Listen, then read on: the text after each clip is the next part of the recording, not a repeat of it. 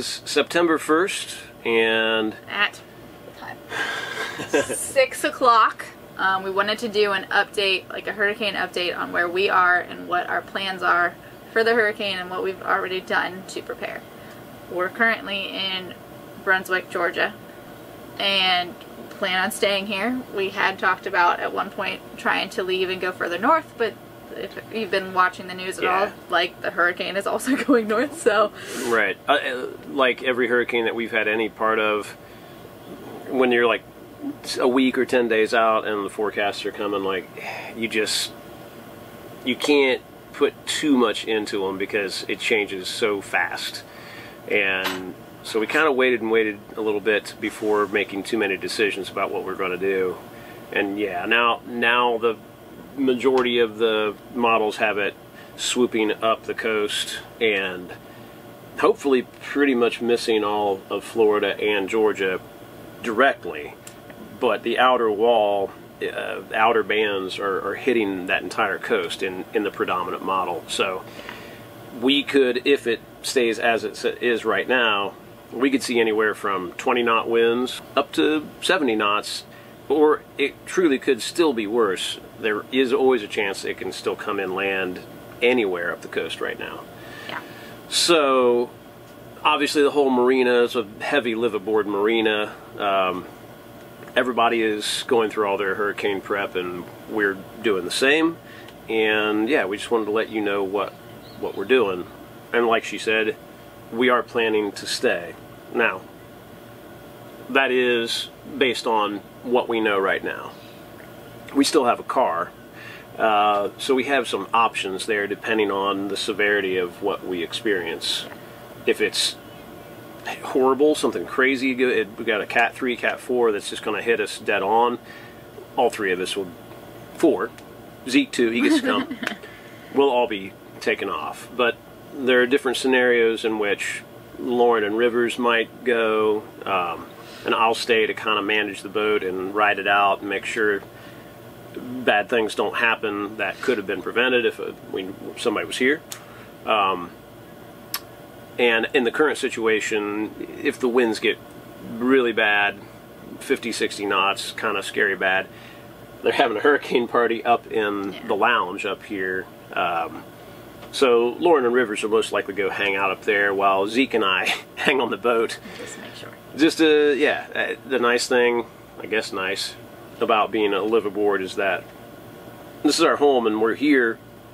So if we're present, you can see if like fenders are misplaced or uh, a line is particularly, you know, not holding up or stretching too much or yeah, boats that aren't aligned right. There's there's just a lot of things that could possibly happen that if you're here, you could easily fix it. Um, get a little wet, but so that's why we're sticking around. And again, it's our home.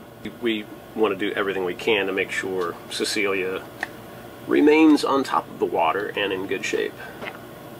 So, So here's what we've done.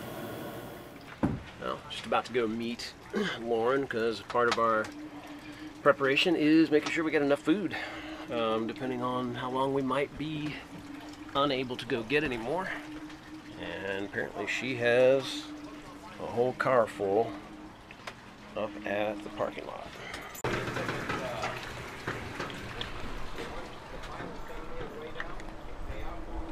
Hi,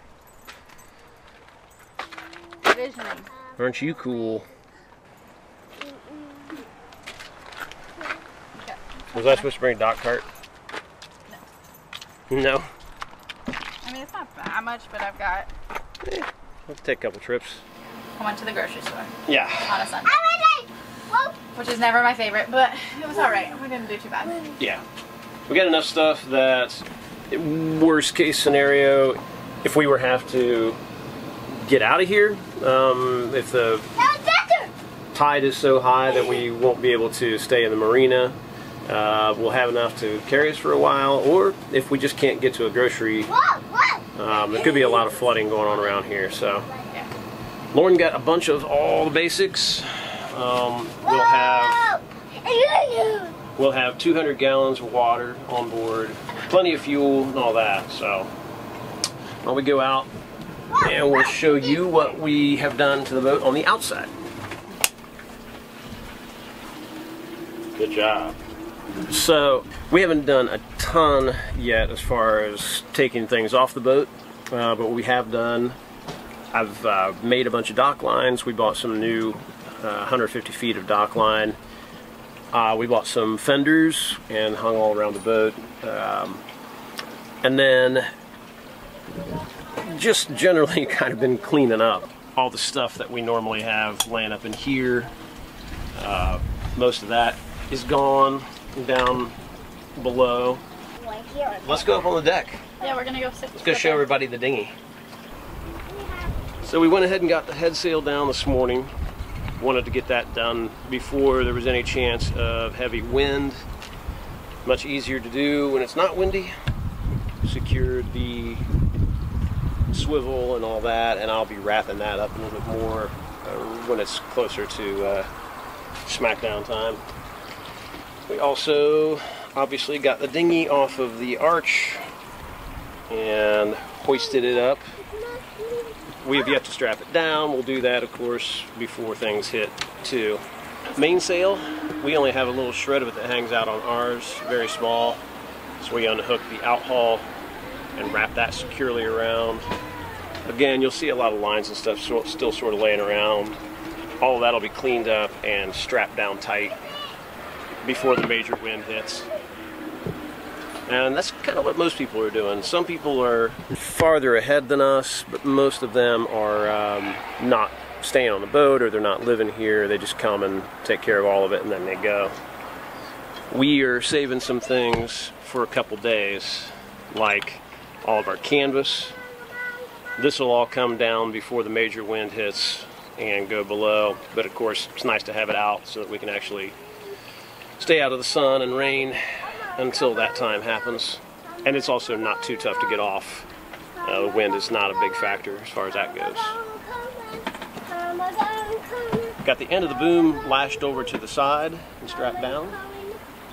But uh, this is the head sail, and that'll go down below also uh, when it's much closer to go time. The grill has to come off. Um, if things are going to be real, real crazy, I may actually take the motor off and lay it down in the floor of the cockpit. And we'll take all of these blocking tackles off too. Just uh, the less things you have flapping around, the better. And um, we will position the boat farther away from the dock and double up all the lines. Like I said, I, I made all new dock lines. That's one of them right there. That's the one of the shorties.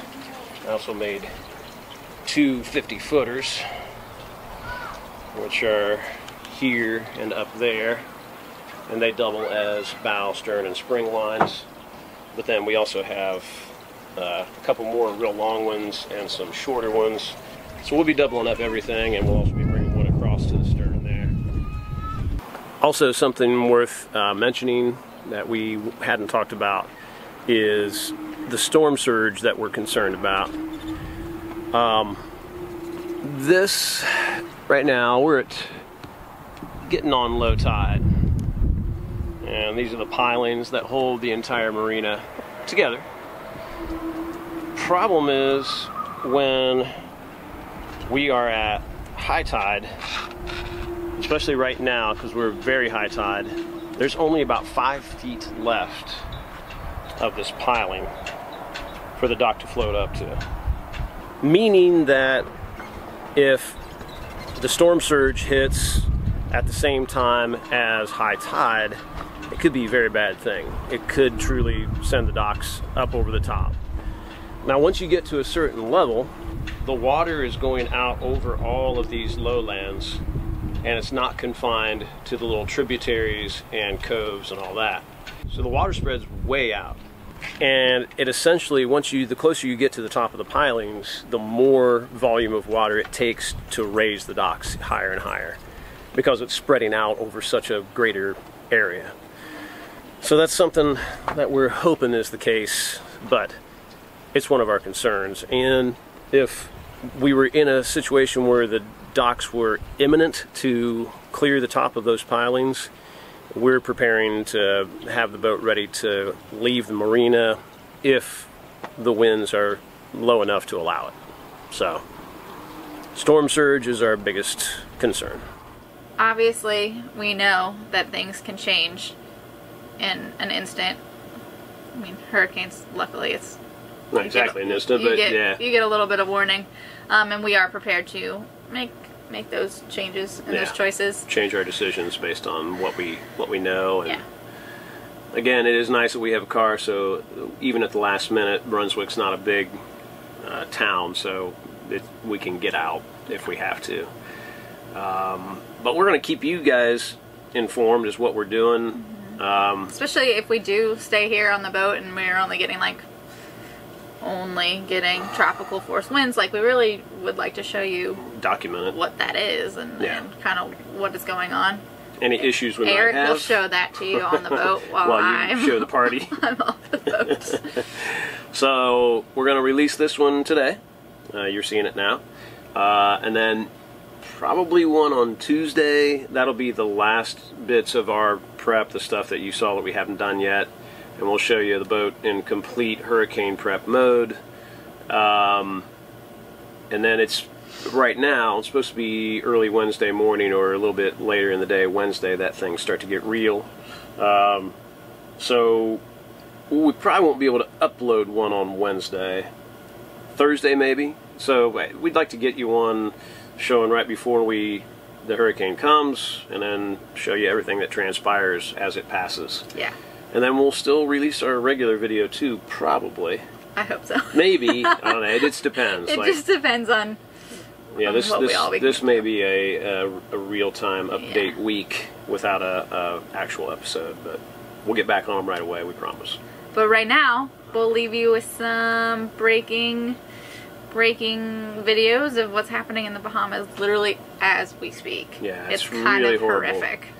Be So, prepared to look for ways to help the Bahamas because they are not a, a wealthy nation and they are going to be hurting very bad. The Abacos, where we just were a year ago, are just getting destroyed. So we'll do some things for that too. And, And if anybody has ideas. Yes. that we uh, for things that we could maybe stock our boat because our, our plan still is to get to the Bahamas in December. So anything that we can bring that would be helpful. yeah. At this point, we might just be loading the boat down with whatever we can fi- find out that is needed and Right. try to deliver it because that's going to be bad over there. Yeah.